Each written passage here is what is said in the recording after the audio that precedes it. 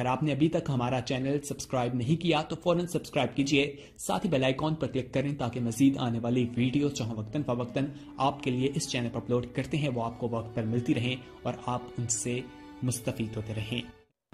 دوستو بحرہ اوکیانوس کے مغرب اور امریکہ کی ریاست فلوریڈا کے جنوب مشرق میں ایک ایسا علاقہ موجود ہے جسے برمودا ٹرائنگل کہا جاتا ہے۔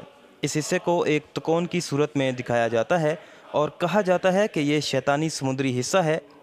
کیونکہ یہاں کچھ ایسے پرسرار اور عجیب و غریب واقعات جنم لے چکے ہیں جن کا معمہ ابھی تک کوئی حل نہیں کر سکا۔ لاکھ ٹیکنالوجی کے باوجود دنیا بھر کے سائنسدان اس پر اپنی مختلف رائے رکھتے ہیں، مگر کوئی بھی اس کی کوئی واضح دلیل آج تک نہیں دے پایا، جس سے یہ سمجھا جا سکے کہ آخر اس سمندری حصے کی گہرائیوں میں ایسا کیا راز پوشیدہ ہے کہ یہاں سے گزرنے والے کئی سمندری اور بحری جہاز لاپتہ ہو گئے ہیں۔ اور آج تک ان کا کوئی سراغ تک نہیں مل سکا۔ اس کے علاوہ بحر الکاہل سے سو کلومیٹر دور کے ارد گرد کے جزیروں پر ایک اور سمندری حصہ ہے جو کہ اسی طرز پر پرسرار اور ناقابل فہم سرگرمیوں کا مالک ہے اور اسے ڈیول سی یا پھر شیطانی سمندر کا نام دیا جاتا ہے۔ دوستو، اس برمودہ ٹرائنگل اور ڈیول سی کی حقیقت آخر کیا ہے، اس کو سمجھنے کے لیے ہم ان کا سائنسی بنیادوں اور مذہبی بنیادوں پر جائزہ لیں گے۔ سب سے پہلے بڑھتے ہیں برمودہ ٹرائنگل کی جانب۔ یہ مغرب کی جانب خلیج میکسیکو سے جنوب میں جزیرہ لاورڈ اور پھر شمال سے برمودہ تک تین سو جزائر پر مشتمل ایک علاقہ ہے، جس کی آبادی پینسٹھ ہزار افراد پر مشتمل ہے۔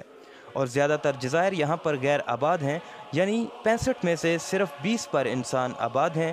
پچھلے چار سو سالوں سے لوگوں نے کوشش کی کہ وہ وہاں جا کر آباد ہوں، مگر چونکہ ماضی میں یہاں ناقابل یقین واقعات جنم لے چکے ہیں، لہٰذا کوئی بھی یہاں آنے کے لیے تیار نہ ہوا۔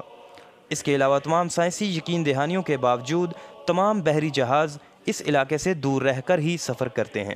اور ہوائی جہاز میں موجود مسافروں کو جہاز کا عملہ بتاتا ہی نہیں کہ وہ برمودہ ٹرائنگل کے اوپر سے گزریں گے۔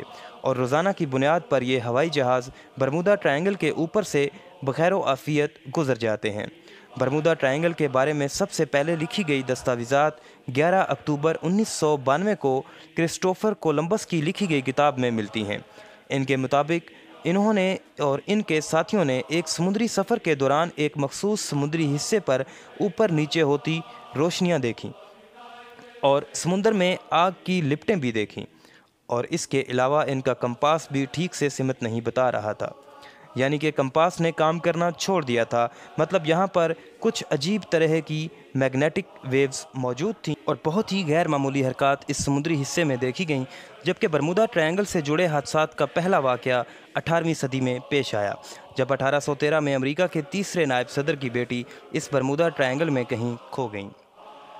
جب وہ اپنے والد سے ملاقات کرنے کے لیے اس وقت کی مشہور کشتی پیٹریوٹ میں سوار ہو کر نیو یارک جا رہی تھیں۔ اس کشتی کا کپتان دنیا کا بہترین کپتان مانا جاتا تھا، جبکہ اس واقعے کے بعد امریکہ کے وائس پریزیڈنٹ نے تمام وسائل استعمال کیے کہ کسی طرح وہ اپنی بیٹی کو ڈھونڈ سکیں، مگر اس کا کوئی سراغ کبھی نہ مل سکا۔ دوستو، اس واقعے کے ایک سال بعد اٹھارہ سو چودہ میں امریکی بحری جہاز واس بھی برمودہ ٹرائنگل میں کہیں جا کر غائب ہو گیا۔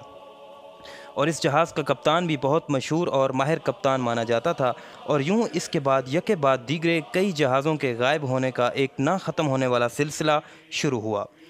سب سے زیادہ حیران کن واقعہ تب پیش آیا جب ایک جہاز برمودہ ٹرائنگل کے پانیوں پر اس طرح سے تیرتا ہوا ملا کہ اس کے تمام مسافر اور کپتان غائب تھے۔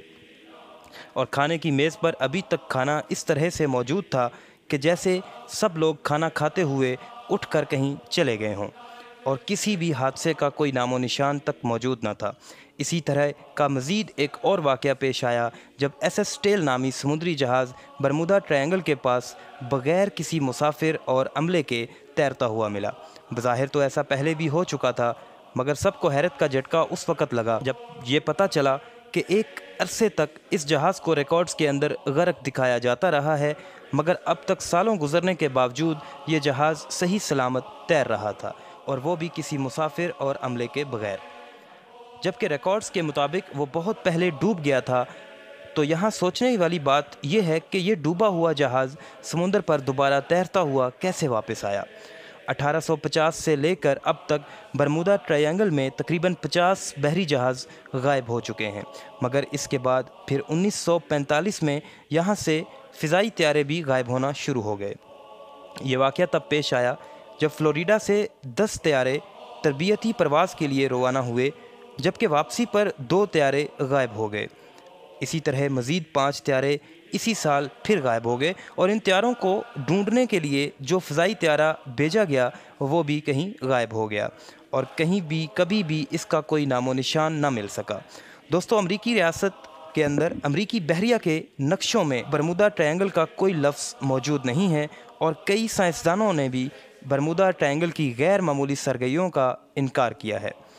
ان کے مطابق تمام بحری جہازوں کے ڈوبنے کی وجہ وہی ہوتی ہے جو عام طور پر دوسرے سمندروں میں ہوا کرتی ہے، جبکہ دوسری طرف کئی سائنسدان اس کی وجہ غیر معمولی مقناطیسی شعاؤں کی موجودگی کو کہتے ہیں، جس کی وجہ سے کمپاس کام کرنا چھوڑ دیتے ہیں اور یوں حادثات جنم لیتے ہیں۔